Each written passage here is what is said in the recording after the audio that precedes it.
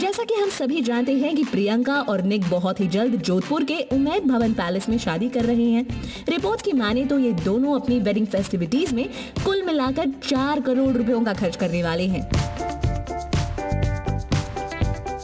में आई रिपोर्ट्स में ये पता चला कि प्रियंका चोपड़ा और निक जोनस की फैमिली ने ताज उमेद भवन पैलेस को बुक कर रखा है।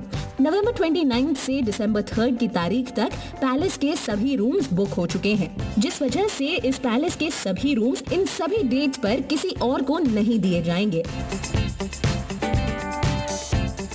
इनफैक्ट प्रियंका चोपड़ा की प्री वेडिंग सेरेमनीज यानी हल्दी संगीत और मेहंदी सेरेमनीज मेहरमगढ़ फोर्ट में की जाएगी, जिसके लिए कपल ने इस फोर्ट को नवंबर 29 से दिसंबर 1 की तारीख तक बुक किया है। और इन सभी दिनों में टूरिस्ट को भी इस फोर्ट पर नहीं आने दिया जाएगा। खबरों की माने तो प्रियंका चोपड़ा और निक जोनस ने अपनी वेडिंग फेस्टिविटीज पर कुल मिलाकर चार करोड़ रुपयों का खर्च किया है। और आपको बता दें कि प्रियंका और निक की इस वेडिंग फेस्टिविटीज में खाने का खर्च लगभग अठारह हज़ार पर पर्सन है, जिससे साबित होता है कि इनकी वेडिंग फेस्टिविटीज कितनी महँगी है।